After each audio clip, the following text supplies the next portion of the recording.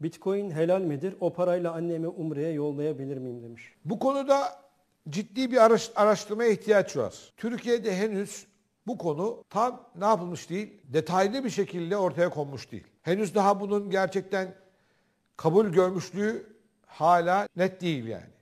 Olaylar net değil. Geçenlerde onun bir araştırmasını yaptık. Yani araştırma neticesinde baktık. Yani daha henüz firmalar bile yani bu iş yapanlar bile net değil yani. Olumlu olumsuz her şeyle karşılaşabiliyorsun. O yüzden dolayı henüz daha henüz ne yapmıyorlar?